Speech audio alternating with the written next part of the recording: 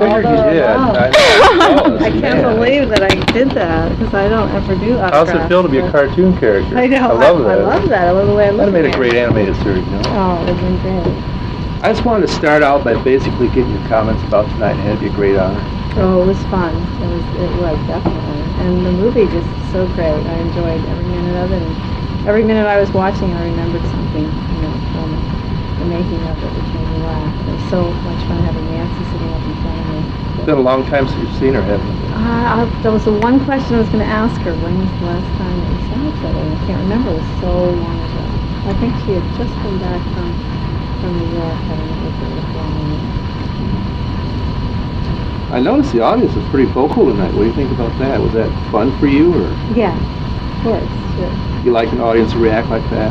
You mean during the, the, the watching of the movie? Yes. Oh, absolutely, the applause, and they seem to be very, you know, courteous, but like Lori and, and on screen applause, the, the uh, credits. I thought it was just for Nancy and I, but then when they did it for Kaiser, I thought, well, that's very respectful. And this is not the first time you've been here either, is it?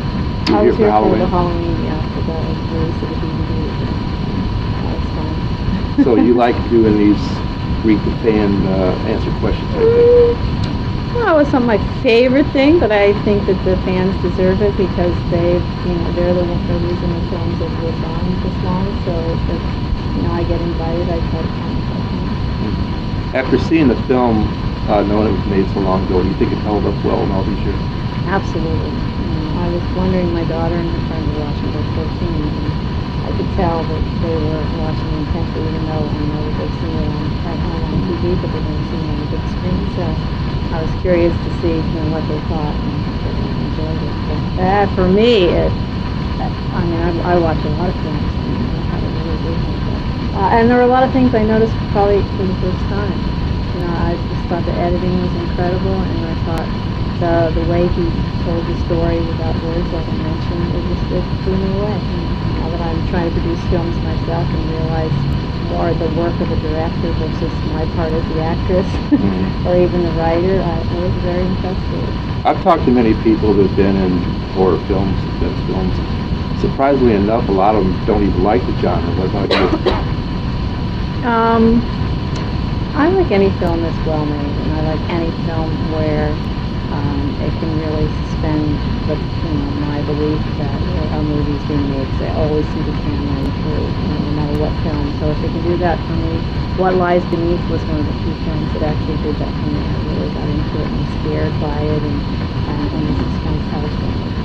What about your children when they first saw it? I don't know if they saw it at an early age or what. Did it scare them? Carrie scare them? Um, I didn't let them see it until they were a lot older. I think my son was maybe 13 or 14, and my daughter, mm, so, but, uh, you know, for the most part, because there's the TV versions, and then there's, you know, so I don't, I don't really know, but they're certainly not when they were little. You've had a pretty full I got life. killed and everything. Oh, yes. Yeah, that's got to be like a major effect to see your mother just get I know. Well, you can interview her after. So just real quick, Yeah, what do you think about did. that? She What When I saw Halloween, I cried when I was seven. Really? We went down to Orange County, but but actually she was upset by it. But, and and they had a guy dressed like Michael Myers walking around the audience. Oh, that's nice. Even my son and I were scared. I was scared. That was, and then we had a question answer. But the bonus for that was the next day they gave us tickets to Disneyland, so it made up Oh, there you go. seeing her mother getting killed on the screen. Now, but that wasn't me. It was my character. You have to Right. remember that. Yeah, there's a separation there. I'm, I'm still here, you know. Before you became an actress, you pretty much traveled all over the world, didn't you? Uh, well, my dad was from Holland and met my mom in Germany after the war. She was from New Jersey, and um, he worked for an insurance company. And because he spoke so many languages, he, he traveled all over the world. He opened all their branch offices. So I was born in Germany, then I lived in Morocco, and then Venezuela, and high school in Brussels, and then college in New York, and then moved to You're multilingual. I speak French and Spanish, although really Spanish. French not as good, but Spanish. I lived there six years in high school, so I really know the language and I interpret for a lot of people now. So, how did the... I always press, you know, one. If you if you want the words in Spanish, press one. Oh, okay. really? no, I was just kidding. so, how did your name go from Pamela to PJ? Um, in high school, I was always known as PJ because my name is Pamela Jane, and I just never liked the name Pam. So during elementary school, I guess I was known as Pam, and it kind of irritated me. So when I got to high school, somebody you know, asked me my name, and said Pam and I said, oh, how about PJ? And. Now, when you first started out, you did Breaking Away. I believe you were credited as Pamela there, right? Yes, that I did, uh, just, you know, for my parents, because my mother always hated the name PJ, so. And I didn't really want to be known. That was actually the second, second or third film, and I was, I was only, because I was married to Dennis at the time on location, and they just needed one more body, so I said, okay, we'll put Pamela Jane in credits, then that'll be kind of a gift to my mom. So you started out as a model. hmm And when did that career go Well, through? actually, I the first thing I ever did was commercials. Um, I actually, Remember what they were? hmm Crisco Oil was my first commercial. I came in the summer. I was going to Briarcliff College in New York State, and I think my roommate was from New York. Came in with her. Um, we were going by the Actors Studio. I read this thing that if you got a job there in the summer, you could audit. I got a job uh, running a spotlight for uh, Scott Glenn and Joanna Miles in Seagull. I had to the spotlight on Scott Glenn, and then I met uh, Joshua White at the Joshua Light Show, and he introduced me to his sister's agent, Lester Lewis, and said, you know, you could you could make money doing uh, commercials. It's a really good way to make a living. And that summer, first commercial I went up for was Crisco Oil. I was a housewife in my first and put it on Before Florence And- Henderson, right? Yeah. and did uh, I did about six commercials before my agent, you know, said, you know, you should try modeling to make some extra money. And that's, you know, so I really started acting first, then modeling. Back then, models really didn't act. So, and then I was in a soap opera. That was nice fun. Oh, really? I didn't Yeah. know that. Fantastic. Yeah. And then I kind of had a choice. I could continue living in Manhattan. I was going up for Broadway shows, you know, just for smaller parts, but it was not the style. The, the life wasn't really my kind of lifestyle. So I thought, oh, I'll go to LA. So what really made you want to become an actress? Um, you know what? Uh, since I grew up in Venezuela and Africa and all these strange places in Brussels, it didn't occur to me that that was the occupation I was going to end up doing. I really was thought I would be an interpreter of the UN, or I was going to go for a political career, try to be an ambassador somewhere because I really traveling and I love meeting people and I love being in foreign countries. Uh, but I was always in the school play, always had the lead role, always helped with the behind the scenes um, since uh, fourth grade in Venezuela, and always sang in front of people. Um, you know, did a lot of that, and, and even in high school was in all the plays, and was editor of the newspaper, newspaper for two years. And never occurred to me that it was something you did for a living because I never really got to watch a lot of movies. I wasn't your typical, you know, movie-going person, teenager.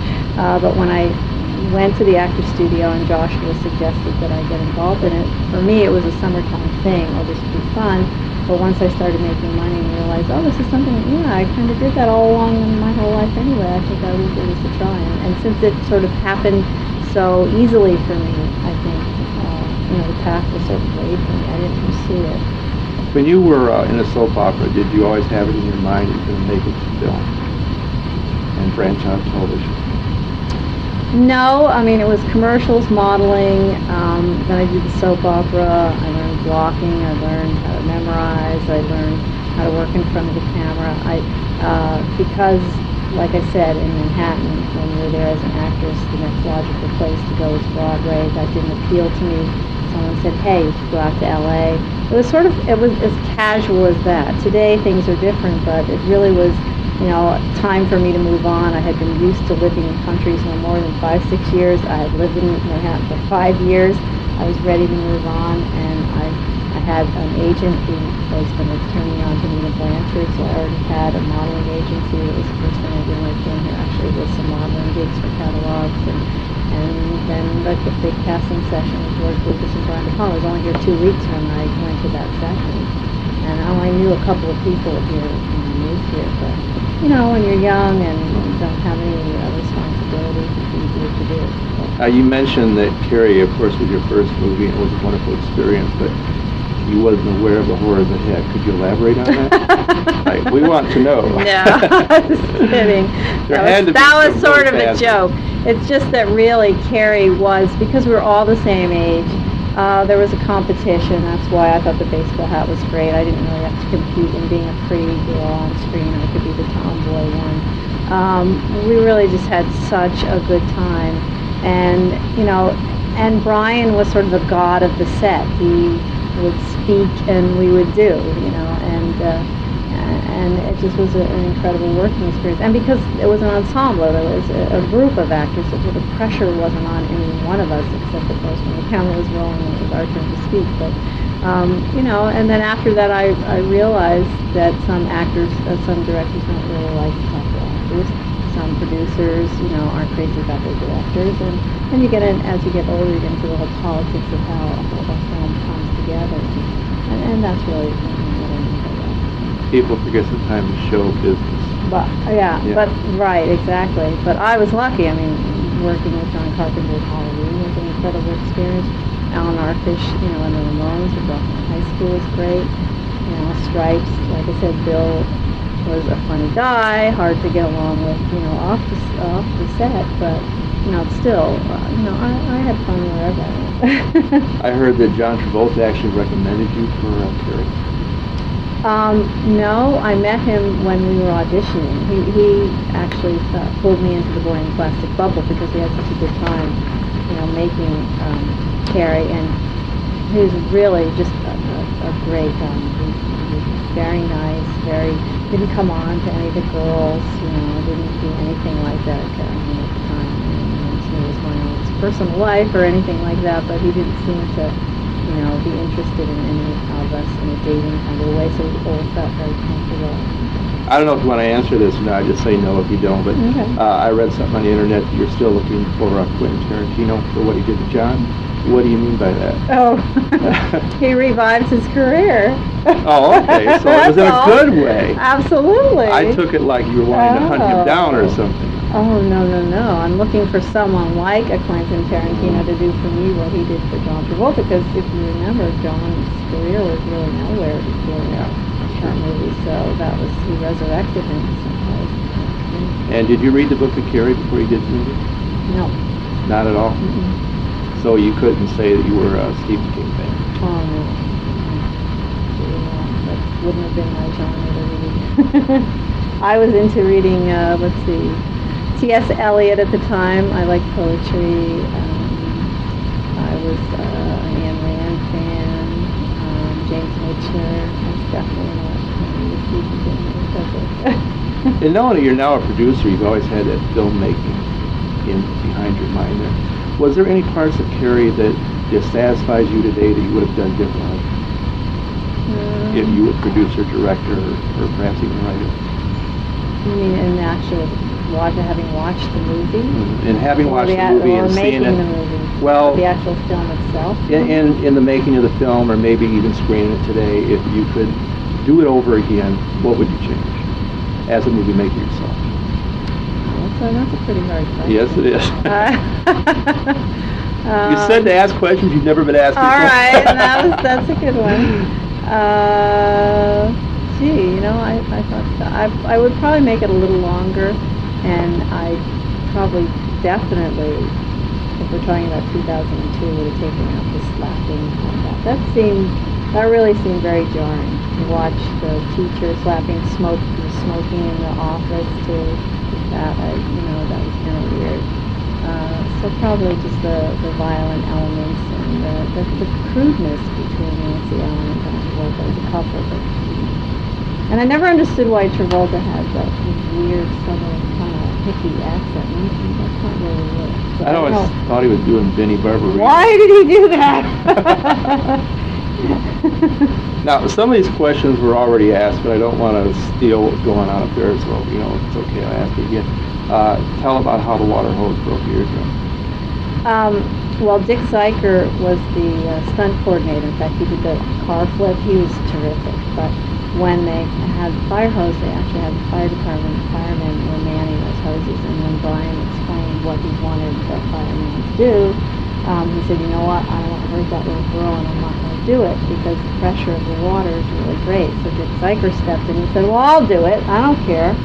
And he, I don't think he had ever manned a fire hose before because that thing just got away from him and he put it on my face and it just I mean, it hurt so badly. And I actually, um, it hit my ear and I felt this horrible knife-like pain and I actually fainted because when it breaks your, when you like your eardrum, it leaves your equilibrium and your balance, and I just fell right over. They used that shot, I mean, after that close-up, I'm then on the floor, and the staffer came in and picked me up and carried me to my dressing room, and, and I was serious in there. Uh, De Palma never came into my dressing room, asked, asked how I was. They called an ambulance, they brought me to the hospital, Culver City, so it was Brotman, where I later gave birth to both my kids, which is ironic. And, uh, you know, I had to, uh, I stayed in the hospital probably for about half a day, and they sent me home with drops, and I had to come back for shots, and, you know, it was a big deal, but we never really acknowledged that that had happened to me, so that was kind of weird. Did that hurt you? And of course, well, you know, I've, I've found out since then that he's kind of a strange guy. Uh, did any of the other co-stars come to your aid when that happened? I mean, you know, like, So, mostly the crew, Oh, yeah. because the crew adored us. You know, they were, these were uh, guys that were probably in their late 20s, early 30s, and then, you know, we were young, 20-ish girls engaging all the time, and they just would watch us and laugh and we were so cute. So the fact that something, you know, would happen to one of us and Brian just completely ignored it, they were just right there. And, oh my gosh, you know. was there anyone that you knew in real life that you based film on? They asked you in the audience how you could be such a good, yeah. you know, but Yeah, everybody has fun being a bitchy girl. You know, it's just something. Uh, I, I don't think I really based on anyone I knew, but that probably was my idea and my vision of like an American naughty girl that I was never able to be because I lived in all these different countries and I had seen. Know, my dad was with an insurance company, but everybody else, if they were in a foreign country, they were either a military brat or they, they were part of Caterpillar, which there were at least 20 families from Caterpillar or Exxon or something. But here I was with my dad with AIU, and there was no other AIU kids. So um, they most of the time they had just recently come from Illinois or Texas, and they had lived there their whole lives, and they were spending just two years in a foreign country. So these were the American kids that I knew. So, so possibly some, some, I don't know. and the baseball hat came from again. I always wore the baseball hat when I first came to LA. Know, it's sun in my face. And, uh, I wore it to that first audition with George Lucas and Brian De Palma. And when he said he was going to put me on his list, he said, and bring that hat with you. And when I met with him um, just for Carrie, he said, and bring the hat with you and it's going to. So. Did the uh, patches have any significance? I Hmm. noticed with patches on your hat. Yeah, um, there was a cloud patch and rainbow patch. I was very into rainbows. Even in New York, I always had a rainbow scarf because it was such a dreary city in the winter, especially. I had a bright yellow coat. I had buttons from China, wore a rainbow scarf and hat, and, and it had three little buttons that, you know, it was during those hippie days. I don't really even know where I got them, but, uh, and, um, then, um, I put them on my hat. Um, ultimately, those those three pins though are on my um, older brother was a pilot and died in a plane crash in um, 1978, and uh, my mom was really upset. Obviously, my brother was only 29 when he died, and she was crying and crying. And he was married to a Catholic girl who um, whose family was taking care of her funeral because she was in the hospital. She was also in a crash and he was had this open coffin thing, and my mother was just crying hysterically, actually trying to wake him up, and I went over and uh, you know said, "Come on, mom," and I pinned these pins that were my favorite pins in life on his jacket. And I said, you know what, if you could just give me any kind of sign that you're okay, I would feel better because he was my older brother. He was only a couple of years older when I was, and I was very upset and uh, it had been pouring rain, Tucson, Arizona, and I just pinned these pins on, rainbow pins. I go outside, pouring rain, and I open the door, and I just asked them for some kind of sign, and the sky cleared, and this huge rainbow. There you go. out. So it just made me feel that there was something. you know. That's great. I've heard many stories of things like that happen myself. Uh, it had a very violent scene in it with the killing of the pig. Back in the day when that Yeah. movie was made in the 70s, you get backlash from that? I mean, it wasn't you. You weren't in that Yeah. scene. You know what? Michael Talbot was one of my best friends for years. He's to New York, but he works with Brian Danton. Um, uh, he was in that scene. Um, no, I mean, again, that question that you asked about as a producer today, I probably would take that out because that was kind of weird. You didn't see anything, but the guy, you know, he actually chose one and said, "There, I'll get that one. Come here, piggy, piggy." Whack. well, that couldn't. That probably couldn't even be filmed today, could it? Uh, not PETA, I doubt it, would yeah. really be upset. Yeah. The uh, special effects in there, were they, they pretty simple, or? Um, well, I mean that car, you know, the car uh, roll and explosion, that was all done with real stunts, you know, no special effects. And then the, they always had that fire going, especially, you know, when he walks out, all that was, that, those were the days when they had to do a lot of real special effects. Nothing, you know, like a week ago with computers. In uh, high school, The biggest special effect, I think, was that twirling. Oh, yeah. You know, that was a special effect. that's one thing I couldn't do. uh, in high school, how were you treated by other students? Were you picked on? Were you popular?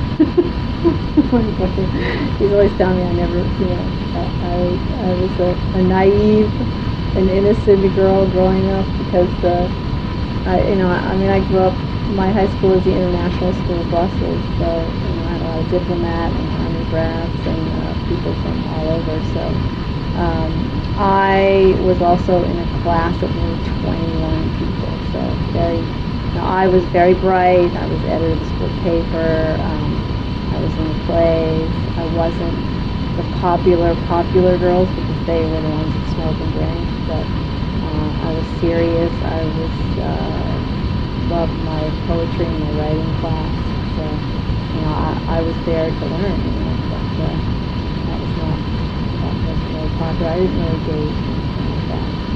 Let me ask you a really strange question. I tend to do this. Uh, if you had the powers of Carrie, do you think it would change you? well, nothing I lacked when I went to high school. I wasn't thinking, gee, I wish I was, although there was this one girl that had a pair of shoes for every outfit, so that could have probably come in handy.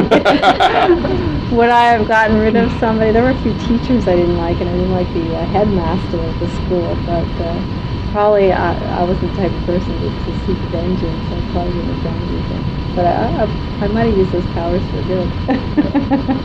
How did you meet John Carpenter? um, at an audition. I mean, he actually called me in, and, and later um, somebody sent me uh, a copy of the DVD, um, the laser version or something, and they made a VHS copy of it. And he said on the track that he actually wrote the part for me. I was stunned because he never told me that. Although it was the first time I had gone had gone in for an audition. Audition after reading, he said, "You have the part. If you want it, do you want it?" and that had never happened. You usually have to go home and you call your agent and you wait a week and they make you sweat and they you come back again, but on the spot. And, and then later, you know, he said I was the only one read totally the right way, and I thought, how the heck did anybody else read it except that way? You know, I was I would have loved to have sat in on the audition. Uh, you were talking about how the towels got a little smaller and smaller in Carrie. Were Well, Nancy was, yeah. Yeah, were you nervous about doing I a always nude kept scene? a big towel. But I knew my parents were going to see that, and that was going to be the first movie, and they were not happy when Oh, really? I quit college to become an actress until my mother saw the Crisco Oil commercial, and I started sending them presents from New York. But they moved to Turkey the whole time I was in college, and they didn't know what was going on that summer, and they were upset. In fact, I was transferring to Georgetown University from Briarcliff College, and they were all happy about that, but uh, they were very upset, and so I knew I had to you know, break it to them slowly. Not that I knew that I was going to do the scene in Halloween, but John Carpenter said, you know, if there's any way we could get any kind of like little bit of nudity in here, it would really be great. And so I thought, okay, well, let me just do this little sheet drop thing for a sec, and I'll be okay.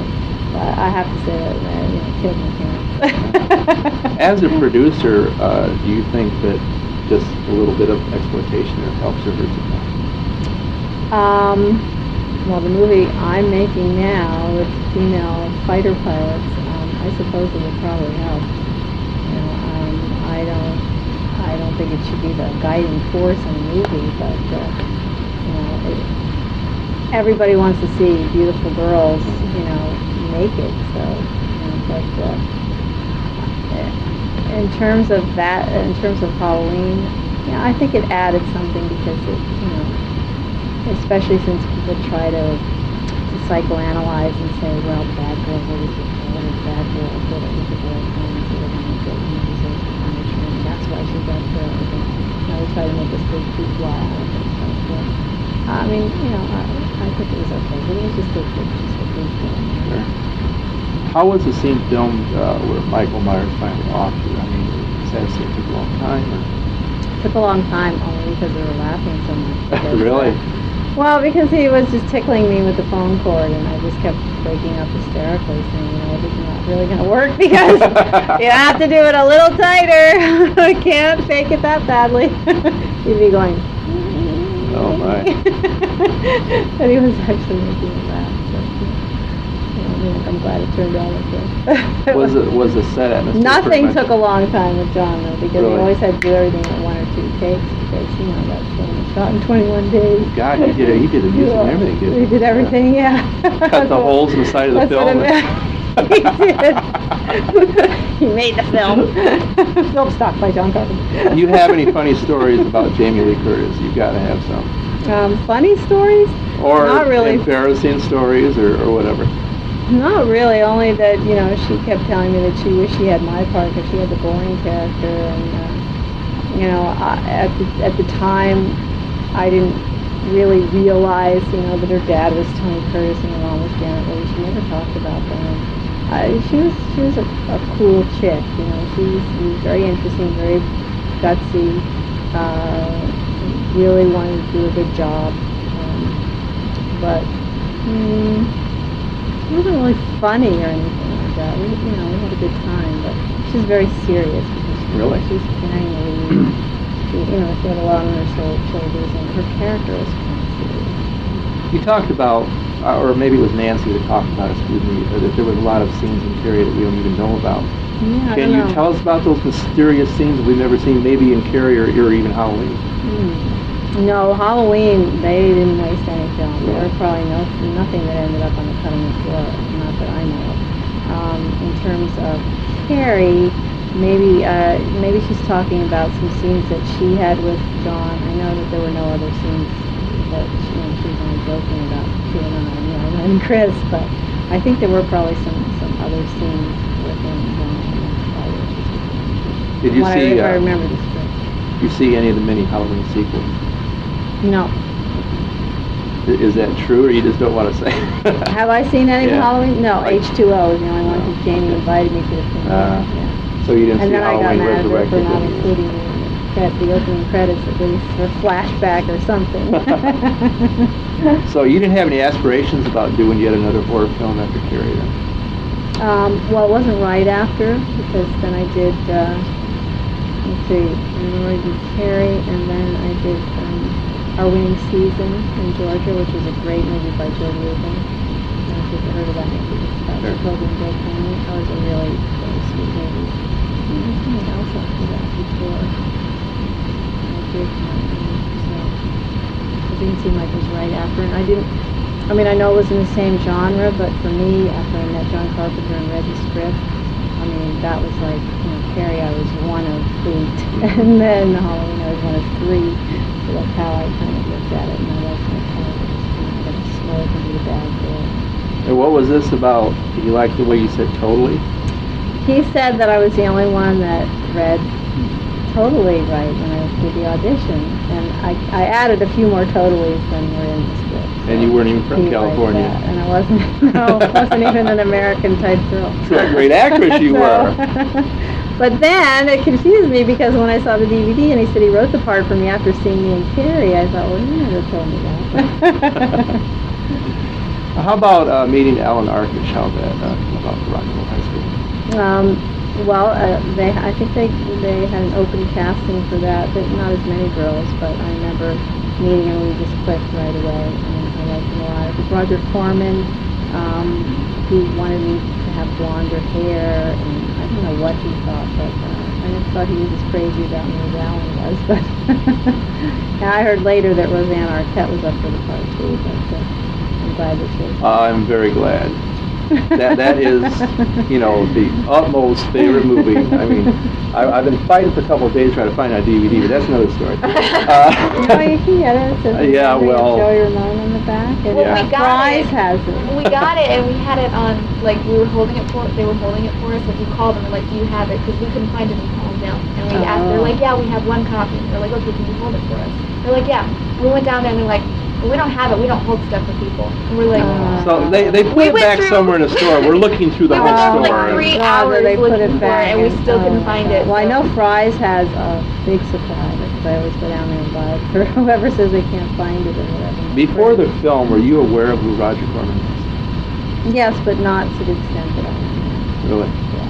You didn't have I any mean, I know? Jack Nicholson started with them, I heard all these stories, but I never, you know,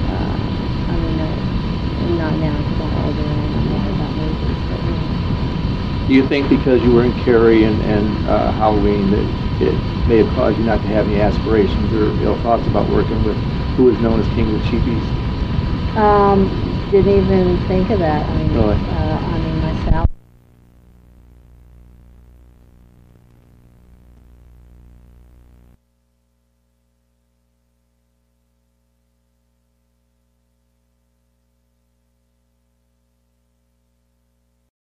Did you have any say in the clothes? I mean, that was all made up by wardrobe or did you design No, I? I bought all the clothes. so- You bought all the clothes? I literally spent my salary and I went out and I went to Fiorucci at the time was still in Beverly Hills and uh, I bought everything and that was all my wardrobe. Deborah, Deborah Nadoolman actually married John Landis was the wardrobe girl and uh, and she just I just kept showing and this is what I'm going to wear. Okay, well that's good. And this is what I'm going to wear for this scene.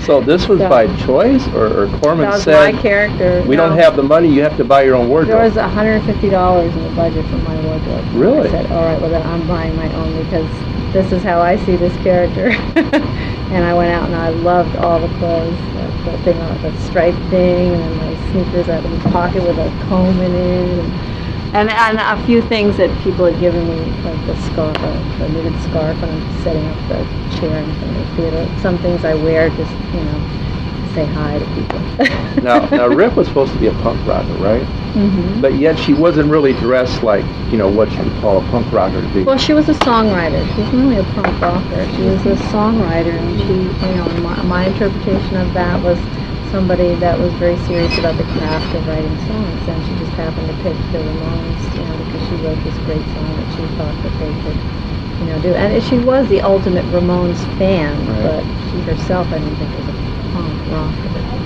And I understand you had actually met the Ramones and, and actually uh, performed on stage prior to the movie, is that right? No, no, this is after the movie. Oh, I thought that was played- wrong, Yeah, yeah. yeah, no, they played at the Roxy one night and, and uh, I went up on stage with them. What was that like? It was great. We sang rock and roll high school. You weren't great. nervous about singing in front of an audience? No, no. How does it feel to be on a record album? All of a sudden you're a pop star? Hey, I get uh, four times a year from Warner Brothers. I get, you know, thirty-six dollars and twenty-five cents. Really? You're still getting I still get royalties. far out? And they, it's great because they list all the countries and how many units they've sold, so I can always tell which country. Brazil and Germany, man, they love the Ramones the most. they show a breakdown of how many units sold all around the world. And what do your children think about your song? Rock and Roll High School. I don't know what they their think tastes so are in much music, about but- that. well, you can ask my daughter that. There you go. Yeah. Good kids. they like Grease and Rock and Roll High School. And uh, the uh, concert scenes, that was done at the Roxy there too, right? right. Yeah. What was that like? It- Was that like a long shoot to do that? Pretty It was. I think it was like three days, and it, and it was long, and it was, uh, it was hard for them because a lot of the times when they we did the shooting of them actually performing, it was in the day, and they weren't really day people, so that was kind of hard for them. But and the crowd was raucous, you know. They had to keep, they they kept inviting in people that weren't necessarily extras, as people that wanted to see the Ramones, and they were a pretty wild bunch. you In this scene where you're smoking a joint and Ramones are appearing everywhere, Yeah, in my bedroom. yeah, can I ask you if that was a real joint? No, it, It wasn't? wasn't. It was rosemary. It Ah. was stunk and it was terrible. And uh, I, I smoked about four of those and got pretty sick. That's pretty bad when you have to do multi-takes and, it's like, Yeah. oh, please. But there wasn't any pot smoking going on on the set? no, oh no, no, no. Allan Arkush wasn't like that at all. And and the Ramones, I don't remember. No, I didn't. I didn't. I didn't notice any drug taking even from them. But like I said, they were so shy and uh, you know tried to be the woodwork whenever they were around. and they didn't even want to order food, and they just got pizza. Well, you know, every movie's catered, and you have these incredible uh, catering wagons and, and banquet tables, and they would just kind of go over there and peek, like, are we allowed to take something? And they'd be like, sure, help yourselves. And they'd, like, take one thing and, like, scurry off. I mean, it was so funny that they, they thought they were beneath this movie-making machine, you know, because they, they were Roger Corman fanatics. And they loved Halloween. So, you know, and Carrie, so they were suddenly, you know, on the set with people they'd been looking at going, oh, wow, really good. So it was cute. I mean, I just thought it was so cute. And you weren't really a Ramones fan. You liked Jackson Browne, is that right? That's right. Yeah. Yeah, oh, I couldn't believe when Alan gave me the cassette and said, go home and listen to these people. You're their number one fan. And I just, I don't think I can do this. I couldn't even listen to the whole record. but what about now? Do you think you're a fan now? Now I'm definitely a fan. Oh, that's cool. So can I have your comments on uh, how you felt when you heard about Joey and Judy in Oh, very, very upset about um, about Joey. In fact, that that day, I think I, I wrote something for the website for Joey. Did I write for his website or for yours? I wrote it to. I wrote. Oh I yeah. sent it to them. Oh yeah. I wrote a, a long thing just about my reflections of working with him and the kind of person he was, and then and then his brother read it and then corresponded with me via email and said that that was really beautiful. And uh, the thing that he wrote to me was that it was so nice, the words that I wrote, because in rock and roll high school, I was the kind of girl that his brother really would have liked to have gone out with. And um, it was nice to know that me, as a real person, was able to say nice things about him. And it really touched him and his family. Since I've pretty much been in touch with his brother and and you know, it's, it's kind of funny. They invited me to Thanksgiving last year because I was in the New York area, and they invited me to be part of the, the annual Joey Ramone birthday that you know, I couldn't make it the last two times. They, they, you know, they can't really afford to send people tickets, and they couldn't really afford to spend money and the hotel. You know, it's so expensive there. But one of these days, I'll. I'll This is very refreshing to me because one of the downfalls of, of my job is when I interview people, you expect them to be like they were on a screen or they really like this or that. And they're so different. And, and to know that you, you really do like cult films and, and you thought Oh, the yeah. were great. And, Oh, no, that's fantastic. Uh, I'm very about, sad about Dee Dee. I mean, I didn't really know him. I probably knew Johnny the most because he was the one that was, uh, you know, talked the most on the set. Joey hardly said anything. Dee Dee really didn't talk at all. But, but Johnny, you know, liked film, liked to talk about film, and I had seen him a couple of times in LA and he talked. But um, uh, Dee Dee, I didn't know at all, and I just felt very sad because when they did that rock and roll uh, Hall of Fame, he was like patting himself on the back. like What is that? myself. that was so weird, but I had no idea he was still addicted to drugs. That was very sad. and you were injured on that movie too. Yeah, that I don't. I can't remember. I mean, somebody. I, I don't know where.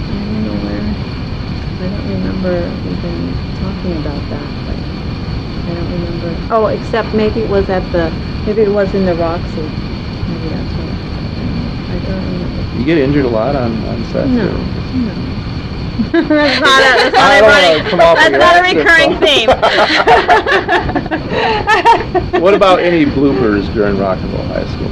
I, I imagine it was just crazy all the time. The things that, that were funny that might wind up on Dick Clark someday. Who knows? Uh, probably anything with the Ramones because they had a hard time with their lines. In fact, the Ramones probably had um, about 10 more pages of dialogue, but uh, they didn't, uh, you know, after the first day of shooting, it was evident that we weren't going to be able to pull it out of them. And, you know, I actually worked with them uh, sometimes before we go on set, but they, Alan just said, you know what, we don't have the time, we can't work with him, we can't do it, he has to go. So they, they would have had a lot more dialogue, but they just couldn't it. And it's true that you guys got in a band in high school and you actually blew it up. Is that right? I heard the uh, blast was a lot more than supposed to be people running out of their houses and wondering what's going on. Is that That we actually what, got in a van? you actually blew up a high school. I mean, you got in a band in high school. Oh, yeah, yeah, Yeah. down in Watts. There Yeah. wasn't, yeah. It was set to be demolished anyway, and then they set it on fire.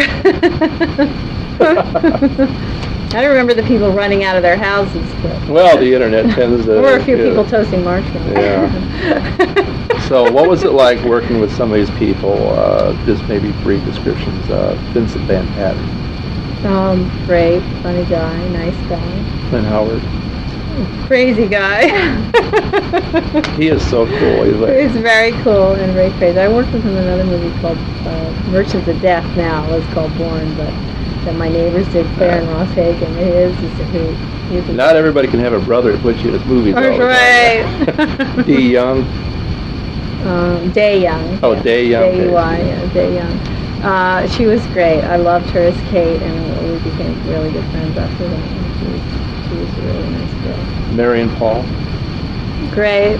Paul was great, and uh, Paul Mary, Movie Gods. Mary Woronov was so and really talented artist. I had no idea. Mhm. Just really incredible. We did. Uh, Allan Arkush did a, a TV movie for Showtime called Right. Rattle, and Rock that that Renee Zellweger Right, was I have first that on movie. DVD. She was adorable in that, and it was so great seeing Mary and Gary again. It was cute that he, that he had us in for that.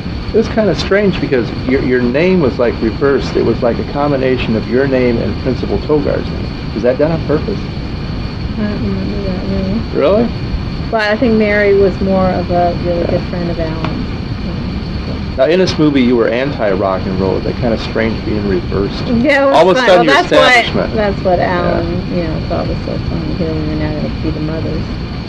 Yeah. So You've played like cops and everything in movies. Uh, do you think you're playing more establishment to where before you're playing anti-establishment? Uh, well, I don't know. When you're younger, you can play more wilder roles, I guess. I'd like to play a part like Piper Laurie now, though, and Carrie. And the film was originally going to be called Disco High. Yes. Well, that was the only way I guess Alan could sell it to Mm. to uh, Roger Corman. Glad they changed it. Yeah. well, he all he knew all along, but he just was pitching it to him. And what about uh, Rock and Roll High School In fact, Forever? it was going to be Disco High with naked girls. That's- Oh, okay, well, that wouldn't play in the South. What about Rock and Roll High School Forever, the very crappy sequel? Do you see the? I mentioned it to them. that that's really bad. I, I'm ashamed to admit that we have it. I don't. I think I have I it just can't because believe that Mary's in it. Mary was in it. Yeah. I can't believe it. Did they offer it to you all? They never, no, they, uh, they act, I did have one interview with the female director, Deborah something, whatever, I can't remember her name, but, and I had all these ideas and whatever, and she basically, you know, walked me to the door and said, thank you very much. And I felt a feeling that she would never call again, and I thought that's weird, but I then wrote a treatment, um, with my then agent's boyfriend, and, uh, we actually got Roger to, um, sign a deal with us, and we got a deal with a company, they wanted to do it, and we got all, all the original people signed up, they all agreed they would do it. Wow. The Ramones were gonna come back together Oh, just for the movie, and then Roger doubled his price once we had a deal with the company. Said, I didn't say two fifty, I said five hundred, and we went, well, but that's not our budget, and that's not what you signed, he said, so sue me. I would have thought he would have understood that. It was unbelievable, budget, you know? Uh, unbelievable, it was really, ve- very mean of him. He blew our deal. Uh, let me ask you this: uh, Do you think that uh, in Shake, Rattle, and Rock, that that pretty well is a representation? Your character in that movie that is pretty well representation of what maybe Riff Randall would be like today in an older age. No. No? He'd still be rocking then, or? well, hopefully she would have, uh, you know, become as uh, famous as Carole Bayer Sager or any of those song- women songwriters. What's that one? That writes all the songs. Diane Warren. Diane Warren. She would have become Not Diane that Warren. kind of stuff, though. No, not that kind of stuff, but that popular popularity. Did you get any backlash? And then a video, uh, Yeah. MTV video film director. There you go. There you That's go. what Riff Randall. Did you get any backlash over the comment that was made about uh, your former husband and why you divorced Meg? Did you get backlash from that? You had said because you had felt that, that Meg Ryan was a bigger star than he was, and that's why he divorced. I said that? That's what it said. It's all over the internet. Seriously. Why did I say that? I never Let's see. Is it, we have an exact quote in here. No wonder he's mad at me. Yeah, it, it That's said on the that internet. it said that you had recently talked with Dennis. What is it? Where? Well, I'll have to send you the link. I can do that. Oh, But it's, okay. I swear to God, it's all over the internet, and it said that you recently talked with Dennis, and he was very sad about his breakup. And to Right. That you, was- I yeah, said to in you, in People your magazine. opinion, you had felt it was because that Meg was a bigger star than he was, and uh, his ego couldn't tolerate uh, being married. said that. That doesn't sound like you. I didn't believe that for a Never minute. said that. That's bizarre. Yeah, well, it's the That's internet for you. Fair. No, it's not fair. Kind of stupid anyway, though. that is stupid because You you know anything you hear on the internet? Meg No. Meg divorced It's the Dennis worst, The anyway. electronic bathroom wall. Meg divorced Dennis anyway, so that wouldn't Yeah. make any sense. And this uh, movie you're making about the aviators, this is going to be for uh, theatrical release? Mm-hmm. Paramount. You have a name? Or- Absolutely. Untitled female fighter pilot. Oh, this is not the first so movie that's the you've name, produced, right? UFFP. Working title. Are you going to be in this, That's or what you just producing? No, because it's going to be younger girls who are flying, you know, combat through their in their twenties. No, I'm going to give myself a role, but I'll Yeah. probably have to be some army uh, colonel or something. Air this- Force colonel. This is not the first film we produced, right? Um, well, that movie Born that, Yeah. that I told you about. And what was that like? Uh, that was okay, but that was sort of a token, you know, credit because I, I helped pull some people into it and, you know, it wasn't really what I'm doing now. Now I'm really working hard. And what was it uh, like doing Jawbreaker? um, that was fun because Darren Stein was so, you know, he, he just idolized Bill Cat and I and he had to have us in our movie. And he was, what, 28 years old and he, loved Carrie Rockland High School and, you know, Halloween and so uh, he just wanted to have me be the mom in his movies. And, and I, I just thought he was genius. I mean, I just thought that movie was had some really good stylistic elements in it. I don't think as a whole the movie. I think it was just a little too rough for the kids today. You know, my daughter. But uh, Yeah. so if it had just been a, you know, a little less Rose McGowan and uh, Marilyn Manson-ish, I think it probably would have been more successful. It, it should have been a little lighter like Rock and Roll High School Yeah. was, and that's what I thought it was going to be from the script. But then when I saw it and it was just, just took this dark turn, I was, whoa. Marilyn was no Joey Ramone, let's put it that way. No way. Uh, everybody seems to center on basically the big three in your life. You've done many, many films. Uh, what other films haven't we mentioned here that you think are just as good as Halloween, Carrie, and Rock and Roll High School? Um, well, let's see. Um, I really like Private Benjamin. I think that's a really cute movie. I like my part in that a lot, and uh, I liked. I didn't have a big part, but um, I'm proud to have been in Sweet Dreams because I thought Jessica Lange did a great job. I thought it was good enough, but you know, it's okay. How do you want to be known as an actress? Uh, do you mind being called a, uh, a screen queen? Well, I don't feel that that's really fair because, you know, of Rock and Roll High School and Stripes. So, Yeah. you know, I think that, you know, I don't mind, but I think, and then they also classify me as a Queen of the Bees or a cult movie mm-hmm. person, but Stripes wasn't a cult movie. It was a movie, so, you know, I just, I would like to be thought of as, you know, having done a wide variety and big range of movies that are still popular today. Mm-hmm. Oh, you kind of went the whole gamut between actress and, and movie maker.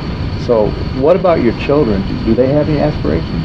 And do you want them to be in the business? Oh, I really wouldn't like them to be kids anymore. My son's 18, so he's he, he can't he can't do that anymore. um, and they both, you know, my son's into basketball and uh, he's in the Richmond Academy right now, so I'm proud of what he's doing. And my daughter is a wonderful piano player, and you know, people ask me all the time, well, you know, why don't you get them in model, your daughter in modeling or acting? And, you know, it really has to be something that you want to do and, and something that you want to do when you're older, because it's no life for kids. Do you think it was easier to get into the business back when you first started out than it would be today? Absolutely. And today it's just, it's like the music business. They're just looking for that one hit. You know, it's, uh, it's, uh, and I think it's turning though. It seems to be turning where more and more they're they're wanting to go with the artists that you know are developing themselves and singer songwriters again versus just the one hit and put it on pretty place. So I'm hoping you know that this turns the same in Hollywood because they're they're always looking for those young girls that you know if they get one or two movies that may that's enough, you know, or a sitcom like Friends, and then you know you get millions and millions and millions of dollars, and it runs for seven years. And if you could do it all over, would you have done anything differently? Or you're happy with the way you've done things? you know? Um, you know, you can never have any regrets. Um, I probably would have liked to have kept working even though my kids were little, maybe one maybe a year.